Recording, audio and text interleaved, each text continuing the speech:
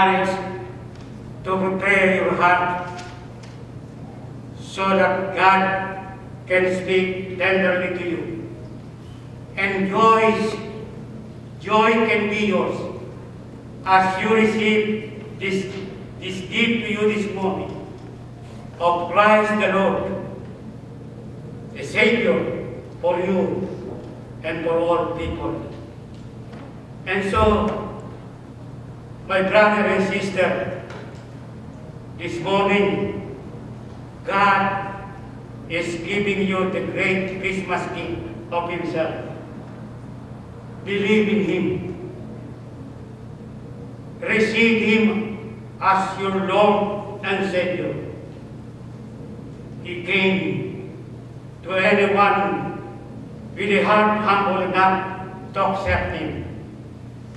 Whoever you are, whatever you can do, you can have Jesus in your life. And don't think you need extraordinary qualification. He accepts you as you are. Then share the message of the goodness of God, of God's love.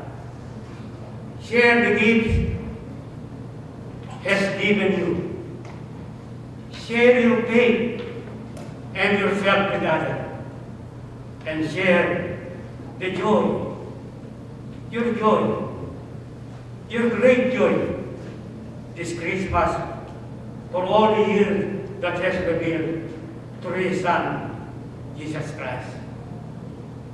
But real joy that is permanent and eternal is found in the Christmas event. I have proved that to you already.